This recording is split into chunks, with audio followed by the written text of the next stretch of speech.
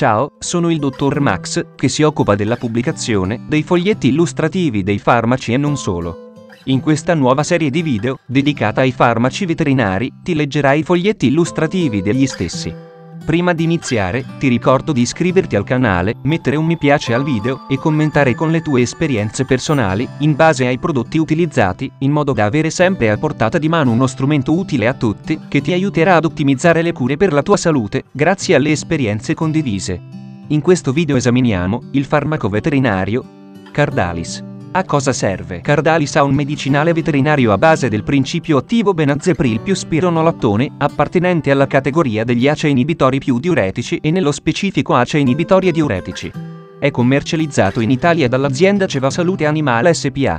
Cardalis può essere prescritto con ricetta RRV, ricetta medico-veterinaria in copia unica ripetibile. Informazioni commerciali sulla prescrizione. Titolare. Cevasante Animale. Concessionario. Ceva Salute Animale SPA Ricetta. RRV Ricetta medico-veterinaria in copia unica ripetibile. Principio attivo. Benazepril più spironolattone Gruppo terapeutico. ACE inibitori più diuretici Forma farmaceutica.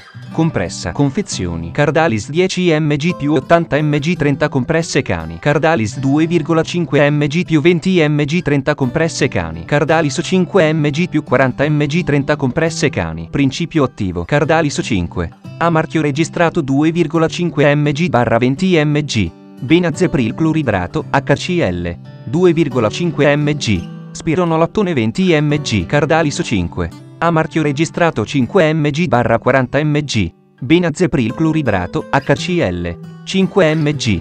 Spironolattone 40 mg. Cardalis 5. A marchio registrato 10 mg/80 mg. Benazepril cloridrato HCl 10 mg. Spironolattone 80 mg. Indicazioni per il trattamento dell'insufficienza cardiaca con gestizia causata da rigurgito valvolare cronico nel cane, con supporto diuretico, quando necessario. Posologia. Questo prodotto in combinazione fissa dovrebbe essere utilizzato solo in cani che richiedono la somministrazione di entrambi i principi attivi simultaneamente a questo dosaggio prefissato.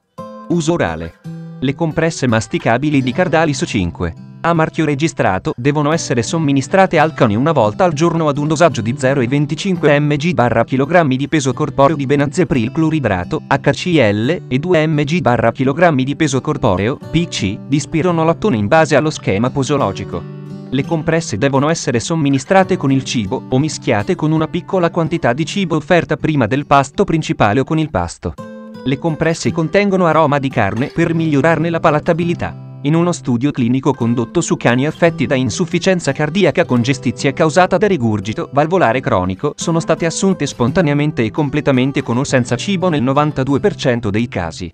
Avvertenze. Precauzioni speciali per l'impiego negli animali. Prima di iniziare il trattamento con benazepril, cloridrato e spironolattone dovrebbero essere valutati la funzionalità renale e i livelli sierici di potassio soprattutto in cani che potrebbero essere affetti da ipodrenocorticismo, ipercaliemia o iponatriemia. A differenza di quanto avviene nell'uomo, nelle prove cliniche eseguite sui cani con questa associazione non è stata osservata un'incidenza maggiore di iperpotassiemia. Tuttavia nei cani con insufficienza renale si raccomanda il monitoraggio costante della funzionalità renale e dei livelli sierici di potassio poiché a copyright ci potrebbe essere un rischio di iperpotassiemia. Dato che lo spironolattone ha un effetto antiandrogeno, si sconsiglia la somministrazione del medicinale veterinario a cani in crescita. È stata osservata atrofia prostatica reversibile nei cani maschi adulti interi trattati con spironolattone nello studio di sicurezza sulla specie di destinazione al dosaggio raccomandato. Il medicinale veterinario deve essere utilizzato con attenzione in cani con disfunzione epatica, poiché copyright potrebbe alterare l'ampia biotrasformazione epatica dello spironolattone. Fonte, Codifa, l'informatore farmaceutico. Grazie per avermi seguito fino a qui, spero di esserti stato utile, iscriviti al canale e sarai informato sulla pubblicazione dei nuovi video. Buon proseguimento ci vediamo al prossimo, farmaco veterinario esaminato.